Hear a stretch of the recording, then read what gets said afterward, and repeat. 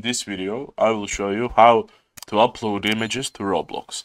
So starting off, we navigate to the top of the screen and we select the create button.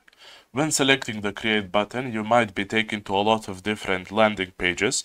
So if you want to avoid the additional hassle of getting to a random landing page, you go to the top and you copy this link, right click and copy, just up to the .com part, you open a new tab and you paste the link and you press enter. Now you get straight to the dashboard. After you get here, you move to the right and you find the development items section and you select decals.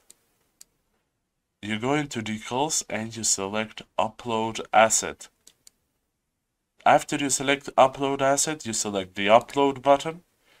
Then find the image that you want to add to your Roblox account.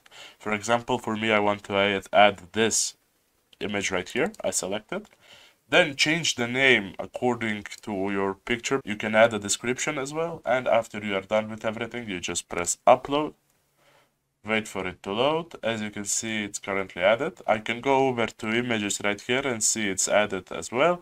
And you can also go to roblox.com and go into inventory when you get to your inventory, you locate the decals section.